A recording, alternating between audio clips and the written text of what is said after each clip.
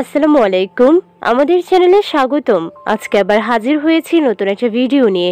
আজকের ভিডিও, গর্ভাবস্থায় সালোয়ার বা পেটিকুটের ফিতা নাবির উপরে নাকি নাবির নিচে বা এতে করে গর্ভবতী বা গর্ভের বাচ্চার কোনো ক্ষতি হয় কিনা?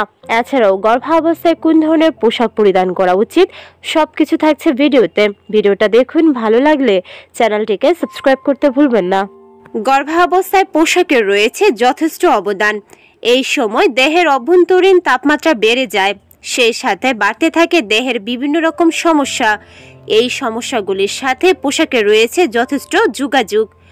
পরিবেশ, বয়স, উচ্চতা, ওজন অনুযায়ী পোশাক গর্ভাবস্থাকে করে তুলবে আরও বেশি আরামদায়ক। এমনকি আপনার বাচ্চার বৃদ্ধিতেও পোশাক বেশ অবদান রাখে। আপনি গর্ভবতী, অসুস্থ নন তাই রোগীদের পোশাক বেমানান কিংবা সেকেলে পোশাক পরিধান করতে হবে না।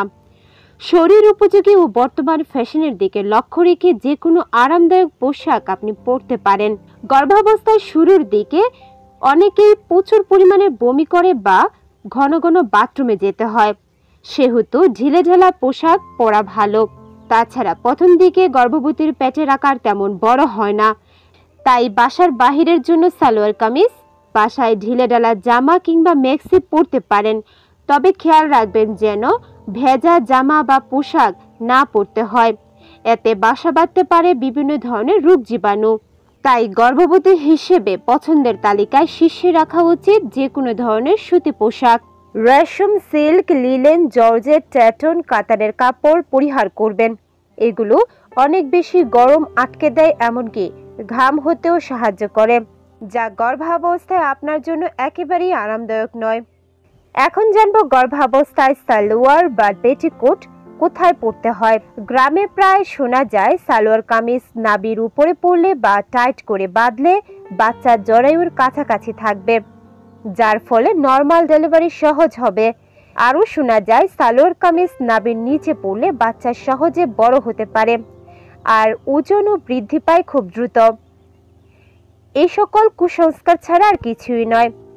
একটি বিষয় খেয়াল রাখতে হবে যে, গর্ভাবস্থায় দেহের ঘরণ পরিবর্তন হয়ে যায়। ওজন অনেক বেড়ে যায়, তাই পেটে চাপ না লাগে এমন পোশাক পরিধান করা উচিত।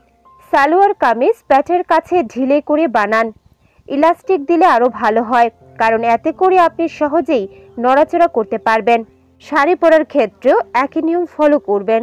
পেটের সাইডে একটু ঢিলে করে বাঁধবেন পেটিকোট, যাতে করে আপনি সহজে নড়াচড়া করতে পারেন। এক্ষেত্রে নাবির উপরে কিংবা নাবির নিচে সালোয়ার বা পেটিকোট পরা জরুরি নয়। আপনার সুবিধা মতো জায়গায় বাঁধতে পারেন। যারা অফিসে চাকরি করেন কিংবা প্রাতিষ্ঠানিক পোশাকে ফুল প্যান্ট বা জিন্সের প্যান্ট রয়েছে বা বিভিন্ন প্রয়োজনে প্যান্ট পরতে হয়, তারা অতিরিক্ত টাইট করে বেল্ট পরবেন না। গর্ভাবস্থার জন্য কিছু পোশাক আলাদা করে ফেলতে পারেন। আর কিছু পোশাক রাখতে পারেন নবজাতককে খাওয়ানোর জন্য। রাতের বেলা ঘুমানোর সময় ঢিলেঢালা পোশাক পরুন যেন বিছানা থেকে নামতে গিয়ে পরে না যান। যতটা সম্ভব আরামদায়ক ও ফ্যাশনেবল পোশাক পরার চেষ্টা করুন। এতে আপনার মন ভালো থাকবে। সুস্থ, সবল শিশু জন্মানোর জন্য গর্ভবতীর মন ভালো রাখাটা ভীষণ জরুরি।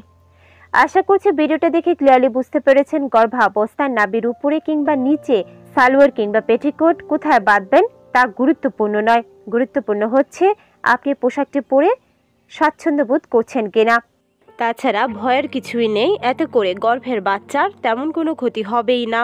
তবে আপনি যদি অতিরিক্ত টাইট করে ফিতা বাঁধেন, সেক্ষেত্রে আপনি চামড়াতে ব্যথা পেতে পারেন বা প্যাটের উপর অতিরিক্ত চাপ পড়বে।